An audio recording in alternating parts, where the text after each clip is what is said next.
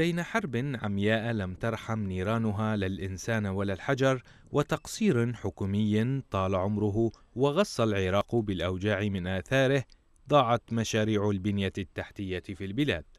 القطاع الصحي نال النصيب الأكبر من سوء أحوال العراق الأمنية ومن الإهمال الحكومي. فالكثير من المشاريع الصحية إما تضررت وتوقفت خلال الحرب ولم يتم بناؤها من جديد وإما أعدت المخططات لإنشائها وتعثرت بأيادي الفساد الحكومي وسوء الإدارة والمتابعة. المؤسسات الصحية في محافظة صلاح الدين شاهد حي على تراجع خدمات القطاع الصحي في العراق.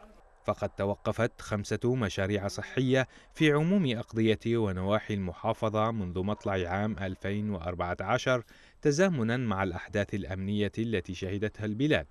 وطال الدمار الذي خلفته العمليات العسكرية أغلب المراكز الصحية في أقضية ومدن المحافظة. هناك آه، يعني خمسة مستشفيات مشاريع لبناء مستشفيات أربع, أربع من عندها 100 سرير.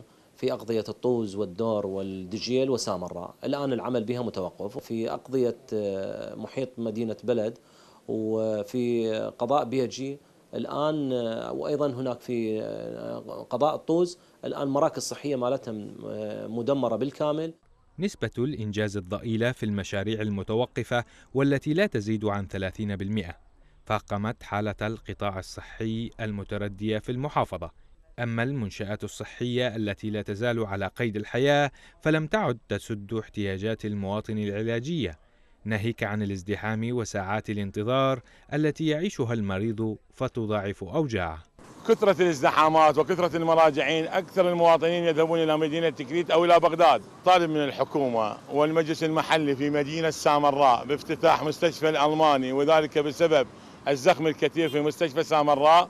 وتعيش معظم المحافظات العراقية منذ عام 2014 حالة متقدمة من شلل التقدم والنماء تزامنت مع انشغال الجهات الحكومية بالعمليات العسكرية ضد تنظيم الدولة.